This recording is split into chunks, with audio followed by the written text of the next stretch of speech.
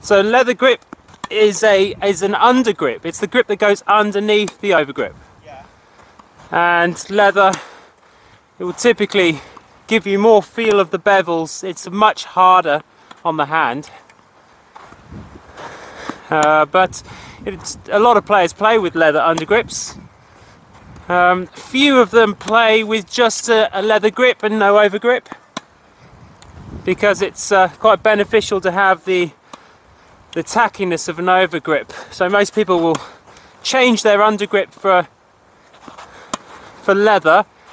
The other thing it does is it changes the weight of your racket because it's quite a bit heavier than a regular synthetic undergrip. It's going to give you a little bit more balance into the handle, which some people like. It can be counteracted by putting some some weight into the head though. The yeah lead strips, so they're they're obviously weighted, uh, so you can change the balance, add extra weight, and you would do that to make it more head heavy, like a hammer, or they give you more power. Or if you put it near the handle, it's going to give you more control. Uh, we can also put it on the outside. That's three and three and nine on the frame.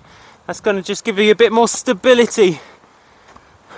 So as you come on, we are going to probably look at uh, customizing your racket to suit you better because obviously no factory setup is going to be perfectly suited to you out of the box.